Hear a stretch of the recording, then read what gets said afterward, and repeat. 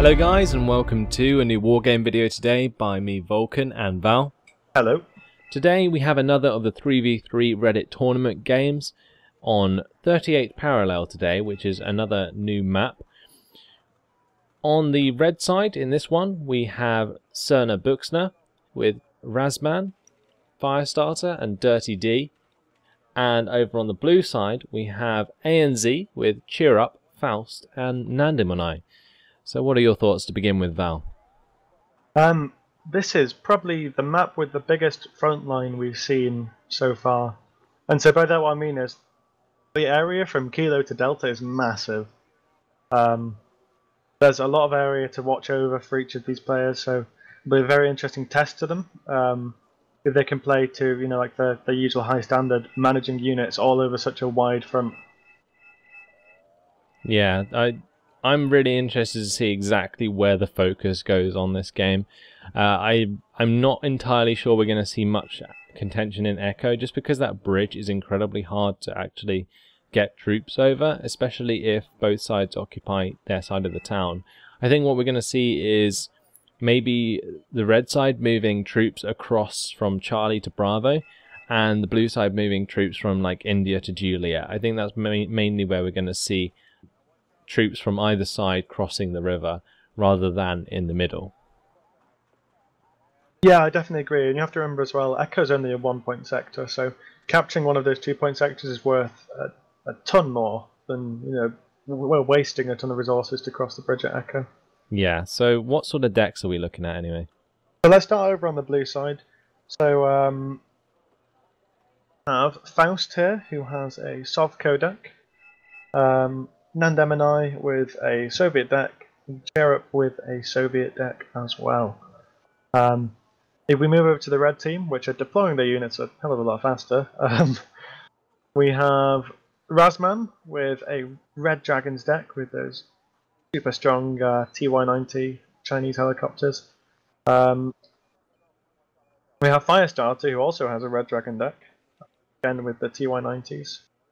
Uh, four of them. That's that's quite an expensive start uh, in terms of anti-air healers. And we have um, Dirty D, who is going Soviet. Yeah, so we see uh, REDFOR versus REDFOR, which is uh, something that's been quite common throughout the uh, game so far. But what I'm really interested to see is the red side start. They have a lot of helicopters, or at least Dirty D does, Looks like he's going to be bringing in Mi-8 MTVs with infantry. He's got two Mi-24s and two Z9A TY-90s. Actually, no, those are Razmans, aren't they? So yeah. Dirty D is going to be utilizing three anti-air helicopters, if you include the KA-52. And Razman's got two Z9A TY-90s there to support that as well. And that's if they're going to the same place. Firestarter's got his own two Z9A TY-90s and also the Z9A there with some recon infantry at the start of the game. So I think the reason that there are going to be a lot of helicopters on this map is because it is so big and it's very important that both sides find out where the enemy is going as soon as possible. Well, it's not just that. Some of these two-point sectors across the river are actually relatively easy to hold, um, or at the very least contest if you have an infantry presence there. Like once you lose control of the bridges, it can be very hard to cross. But if you cross beforehand uh, with a fast helicopter move, it can be um, very rewarding. Yeah, you sort of create yourself a beachhead, which will allow you to get more troops over once they arrive. Now, one thing that I think is pretty important in this map in particular to point out is the amount of CVs that we're going to be working with. Um, on the blue side, we're seeing a spam of the Russian flags from Razman. That's just beautiful, Razman. Thanks for that. Um, but in terms of CVs, we have a Ka-29TB with some command infantry on the top side for Nandamonai. We've got the UAZ from Cheer Up. We have the T-72K1 from Faust and another one from Faust as well. So T two T72K1s and also a UAZ. So five command vehicles for the blue side at the start of the game. That's a lot of points. There's a lot of points. I think I do have to point out Razman was actually he was repping his Red Dragon deck. Those were Chinese flags, but um. Oh, okay, yeah, my bad. But the uh, the T72K ones, interesting to bring them from the start. Usually, you only see them brought out kind of once you've uh, you know you've had a lot of scrapping over a sector and you realise you need something a bit heavier than UAZ. But um, yeah, off we go. Yep. On the red side, just quickly, let's have a look at these command uh, vehicles. We've got one for Firestarter, we've got Razman with one in the home sector, and a KA-29TB on the top side for Dirty D. So only three, by the looks of things, for the red side, and five for the blue side. So blue side's definitely going to have like a lot more points at the beginning of the game. MiG-23ML coming in for Firestarter. I think that's pretty much being used to look for enemy helicopters with its very good air detection. Uh, I think it is, yeah. It's a um, a good unit to start off with. It's always a good idea if you have the points to get um, an interceptor just to see the planes because the you know your own interceptors will give you a much greater view of enemy aircraft. Yeah, so you can see the MiG-23ML here is uh, just spotting out the KA-52. Needs to be careful that it doesn't get shot down though. Uh, MiG-23ML already onto 2 health and is going to be uh, evac'd. That does tell Firestarter that the KA-52 is there though, and that might allow him to pick that off if Faust isn't too careful, but Faust is too good to let that happen, so the KA-52 is going to be taken back to base probably to repair and rearm. So a nice move from the red team down into Bravo. They've uh, got some Lee running. They're already moving troops across. Um, up on the the top side, the blue side is doing uh, something similar. Really, they pushed off and pushed across a lot of motorized units, and the the heavy armor is coming down now. So have to see exactly how this goes because that's quite a significant amount of troops and forces being moved across. Yeah, I think what both sides need to be care careful of actually is airstrikes, although we haven't seen any aircraft come in yet. Like, if bombers had been used at the start of the game uh, on either of those bridges from either team, then that would have made a huge difference here. Yeah, the um, those bridges are just a complete you know, chokehold. You, you can't really avoid on this map. Oh, lovely Buratino strike on the top side from Nandamonai. Uh, hits a lot of the infantry the Dirty D has brought in and that's just going to get hammered by the these SU-122s, the BTR-80As and the T-80UMs. A lot of that infantry is going to be going down very, very quickly, and now the VDV-90 getting involved as well. And all that infantry is just very, like, ineffective at the moment with the panicked nature of the troops. We've just seen a very interesting little BRDM duel down near Foxtrot. The um, the blue team brought in a uh, BRDM and killed the enemy BRDM, but Looks like these SU-122s have something to say about that. One shot will probably kill the BRDM-3, but we'll, uh, we'll leave that skirmishing for later, because this action is really heating up with uh, all that fire up over the Hotel. Yeah, I, that BRDM just did a quick little run through there. He's going to get taken out by the WZs now. But uh, I don't really think that Dirty D has enough to defend against this. He's got he's fighting uh, Spetsnaz GRU and Spetsnaz in the top side with VDV, and it looks like those are going to get attacked by the Su-25 there with 120mm rockets. But all his infantry has been destroyed by the, the combined forces of uh, Nandamonai and Cheer Up. So that's done a really good job so far, and I'm loving the way Nandamonai is using this Su-25, utilizing the fact that there is no radar AA to be seen at the moment. Yeah, it's um very fortunate for the blue team because their um sorry their tanks down in Bravo are holding off very well. Although it looks like they they did have a T90S I noticed down there, but it looks like it's been taken out. So that may be pushed over and captured by Razman. Yeah, Firestarter's using this uh, Red Dragon deck to make some progress into Bravo, but they haven't stopped uh, Faust from capturing it just yet because the T-72K1 is still alive there. They don't they don't have a command to contest it either, and they don't have one for Delta as well. So Firestarter is bringing a command up to contest Bravo, but you can see already at the start the Conquest point actually staying relatively even, which is uh, nice to see, even though Red Side had considerably less commands at the start of the game. Yeah, it looks like they, they brought those in relatively quickly. Some nice usage if we just look up into Hotel, if there's um, rocket pods on the MI-8TBs and the Ka-29TBs. uh, to really stop the infantry pushing across from the blue team into Hotel, which would have been an absolute disaster if they'd have managed that. Yeah, the VDV's still holding out in Juliet. They've done a great job there so far in holding back the two Spetsnaz squads, one being a Spetsnaz GRU, of course. And that Mi-8 MTV there, without any rockets, just being used to recon what's in that town by exposing them and uh, by making the infantry fire their machine guns at the helicopters.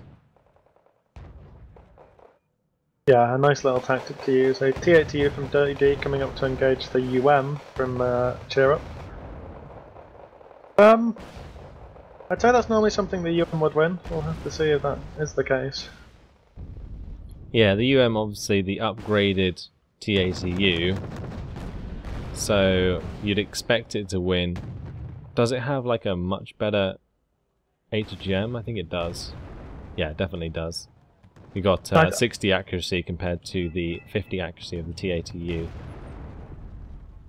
Yeah, I think that is important, but also the 3 more AP on the gun is a big, big uh, factor as to how strong it is. Well, they weren't engaging at gun range, so that wasn't a factor when they were fighting just then.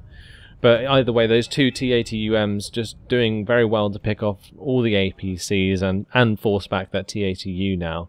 Su-25 coming in for some free strikes onto the enemy, and I just love how how quickly that Su-25 can be microed because it has such a tight turning circle. It can literally just be chosen to strike anything, especially when there is no AA to stop it having its way. Yeah, a very very nice unit, and um, if microed correctly, it's definitely one of the better units in, or the better anti anti ground planes. Firstly, I just want to draw some attention to these VDV-90 who are still alive in Juliet somehow. I don't know uh, what exactly they're going to do there, but I'm going to hand it to them for effort. They've been fighting so long that they were almost run out of machine gun ammo. so they did finally go down to the Spetsnaz GRU once they got spotted. Uh, in Bravo now, we've got the contested sector there. So red side actually on plus one at the moment with the conquest lead. On the bottom side at Delta, it looks like uh, Razman's just sort of sitting back at the moment, not really bringing too much, although these helicopters from Firestar are sneaking around the bottom side, Mi-25 there, supported by Z9A TY-90s. Yeah, this is um really resting on a knife edge because I think that uh, the red team definitely, Razman in Bravo, does have the tanks to, to push across this field if he you know, they bring some, some adequate recon. Um, and also, there's there's the big risk of uh, bombing strikes because there's only one place where Faust can put his CV, to be honest, and well, it's a, a big risk of a Smerch or a bombing strike if he's not careful. I think that in general, both teams are apprehensive to force a push at this point in the game because, like you say, it is very close. But it seems that blue side is going to pull the trigger first. ANZ coming in with their SU-122s and the VDV push. And this is going to be very effective at pushing into this town against the Spetsnaz and the VDV-90. You're probably wondering why Dirty D isn't actually pushing forwards these Spetsnaz GRU and VDV-90, and it's because of the SU-122s. If he puts those on the edge of the town, it will literally get one shot by the amount of SU-122s that ANZ are using. Yeah, you have to be very careful. The um, the last ANZ game we, we casted, they, they use this very same strategy.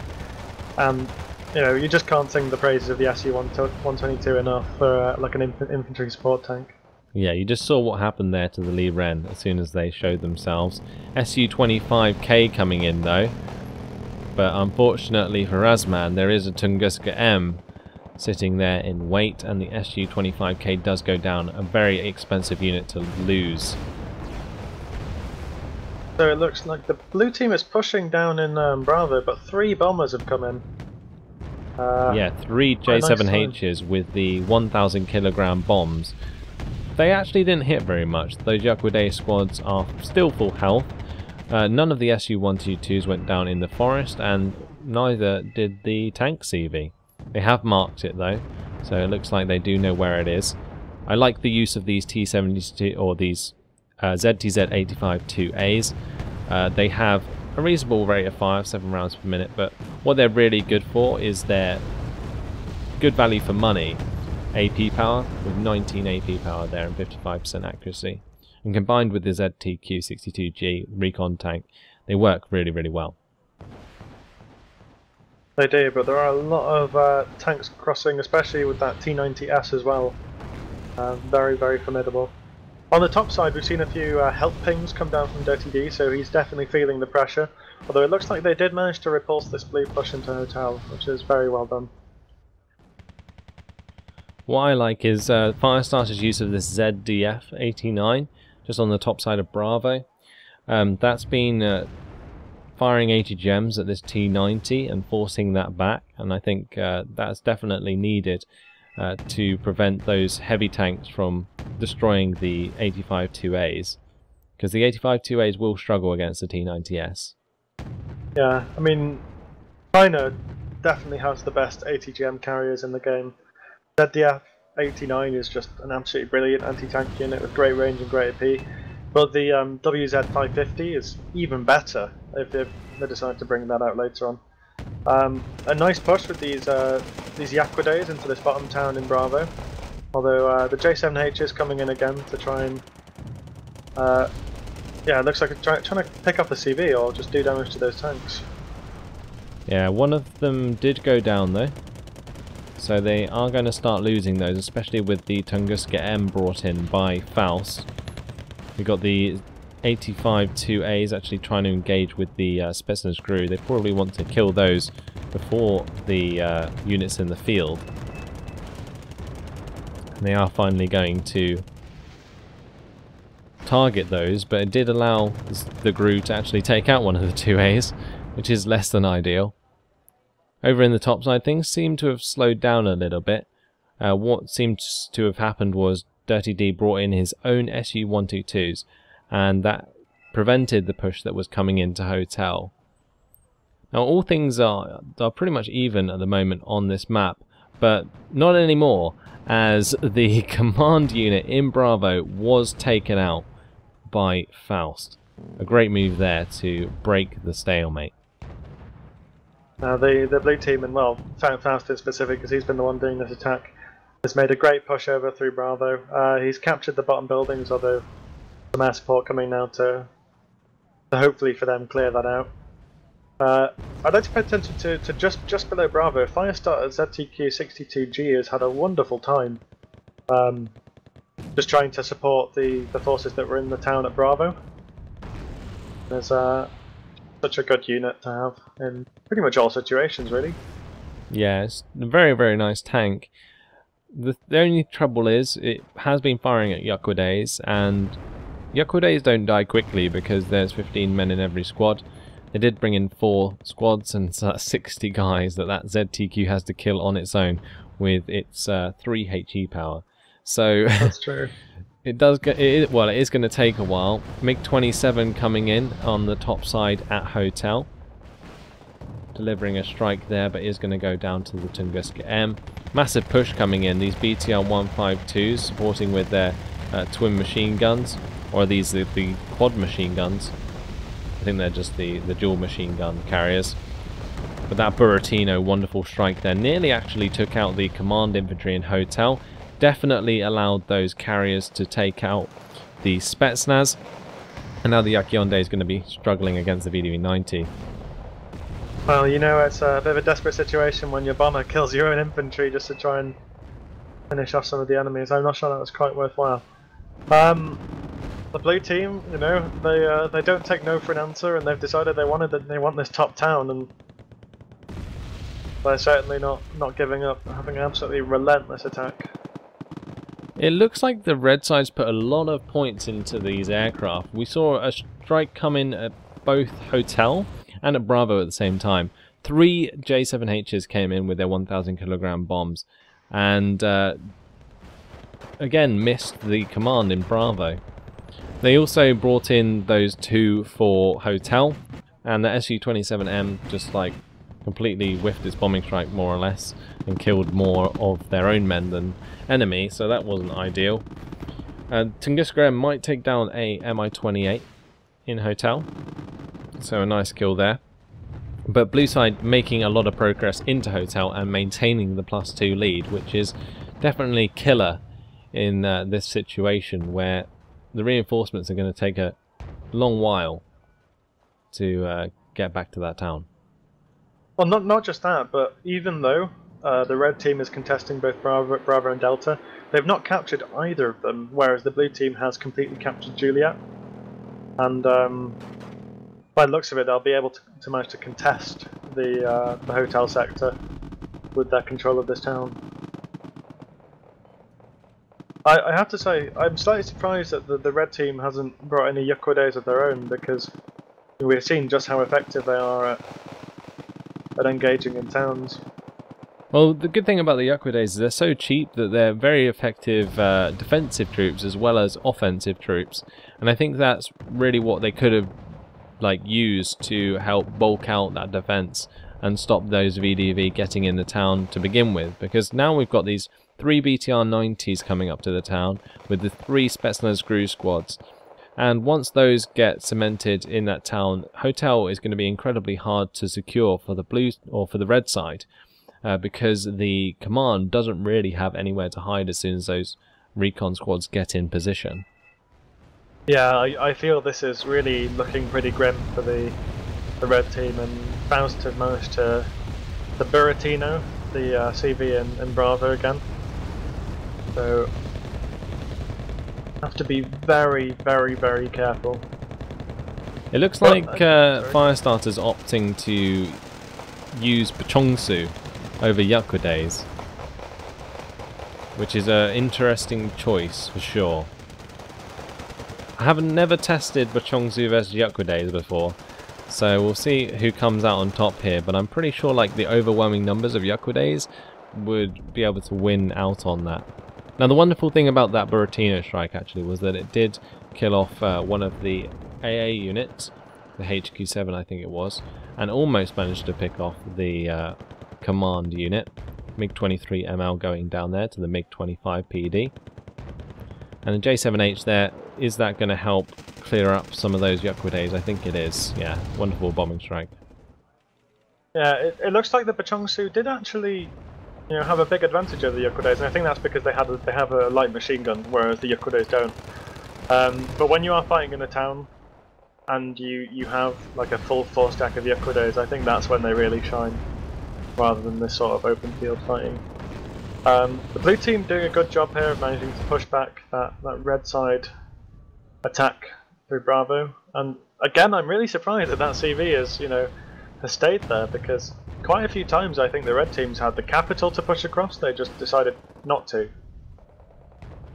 Yeah, I think um, one thing that I have to focus on is Faust's use of the T-72K1s. It's definitely allowed him to secure Bravo and Delta quite convincingly. Um, the T-72K1 in Bravo especially has survived because it's an armoured CV. And those bombing strikes that the red side's trying to be, or tried to use, um, have just been completely ineffective and therefore wasted points on those bombers. And also the T-72K1 in Delta means that the red side's going to have to use something a bit heavier in order to take that out. Yeah, I think this is just a very grim situation for the red team because, like a few minutes ago, what I would have said personally is try and push Delta because if you can take Delta, you can cut round and start skirmishing all over the bottom side of the map with you know a few cheap recon here and there, and that really relieves pressure on the top side because people have to start concentrating elsewhere. But the blue team are just so concentrated and strong up in Hotel that if they don't, if they stop sending units to Hotel, they'll just go straight to Foxtrot know, they won't have to stop. They'll just win the game right out. So yeah, I'm not entirely sure that ANZ are really worried about pushing any further right now. I think they're literally just going to hold on to Hotel. They haven't moved on any of the infantry that's now occupying Hotel, so yeah, it's likely they're just going to leave it there to, to rack up this this points lead with the plus two income and Dirty D at the moment alongside Razman now, desperately trying to bring this game back. That MiG-27 failing to kill a T-80 and going down to the OSA AK. That's a bit unlucky there from the red side. Also the J7H going down. Yeah, the the blue team has just really pushed through all these forces, and now, like like you mentioned before, now those recon squads have gotten into the town. It's very hard to move any units over the field and try and sneak a CV anywhere because it'll get spotted almost immediately. So we do have a nice uh, sort of open push from Firestarter across Delta. He's trying to make his move to make a difference in this game. And those tankers Shashao, if they get into a decent position, will probably find the T-72K1. But even if they do, uh, all that's going to happen is this will go back to an equal uh, conquest point income again. Uh, but even so, now we've got a plus four lead coming out of uh, the blue team. Where exactly is that coming from?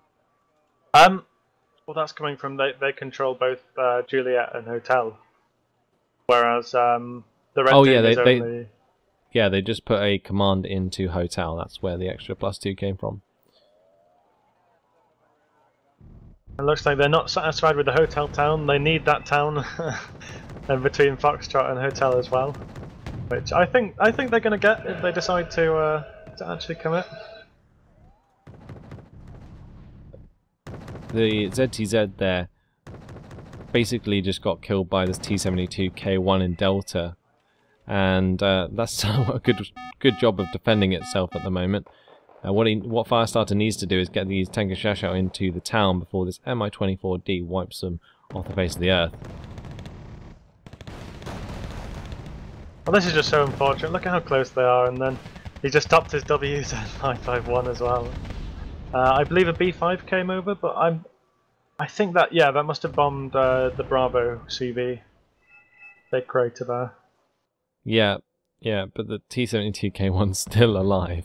And they're just such a good tank because they have that 11 front armor, and they're just very, very good at staying alive against HE bombs.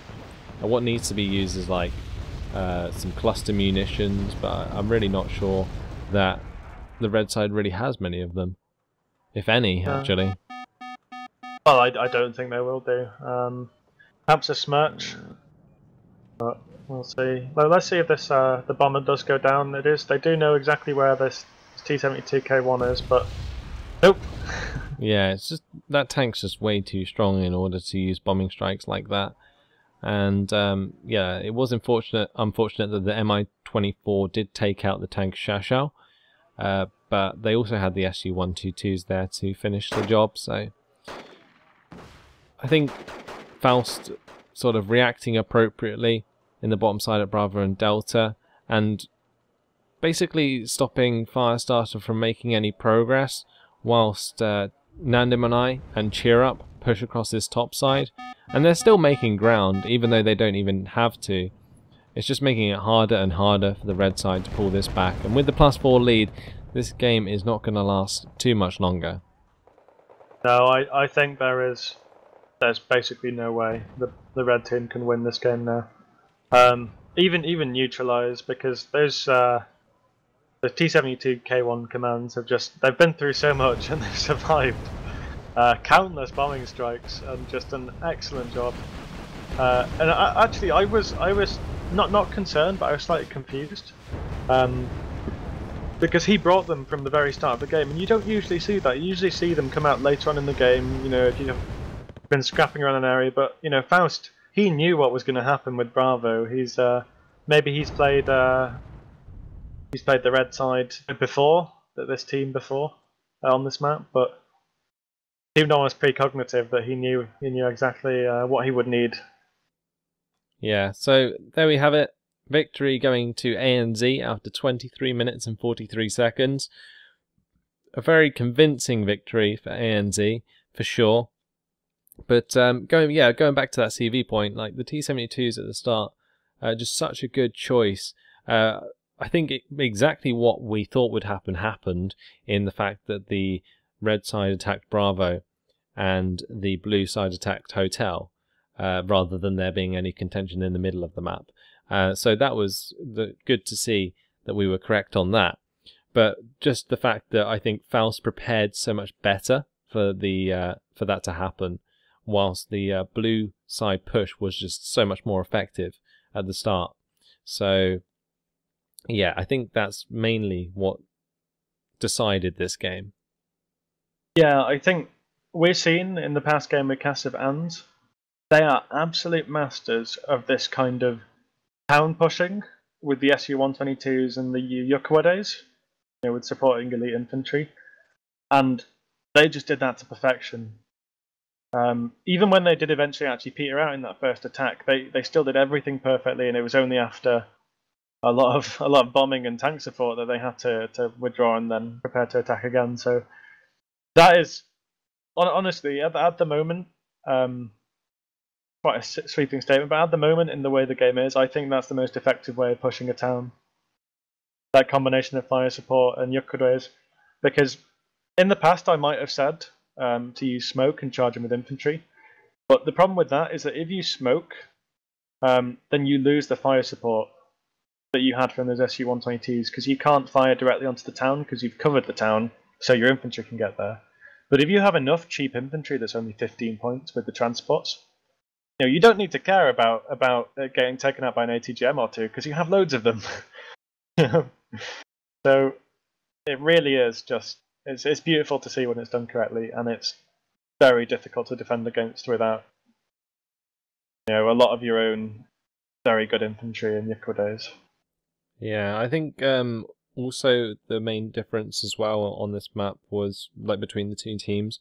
The amount of kills. Like if we look at the kills, seven thousand two hundred and sixty-nine kills to five thousand one hundred and seventy losses uh, for ANZ, and having two like over two thousand more kills than losses in a twenty-three minute game is massive, and I think that was mainly around the top side at hotel because on the minimap you could see like a deficiency of units for the blue side, um, or for the red side, sorry, and that really sort of basically left them caught out when the red side decided to push again. Yeah, so basically just an, a brilliant performance by ANZ, and we should be used to that now with the last game they, they played, where they played very well as well. Uh, not not to discount to discount Firestarter, Erasmus, and Dirty D. They both, well, they, they, they all played very well, but ANZ just played better at the end of the day. Yeah, I think just in this one, ANZ outplaying their opponents. But we're going to leave it there. So thanks for watching, guys. Hope you enjoyed it, and I'll see you in the next one. Goodbye. Bye.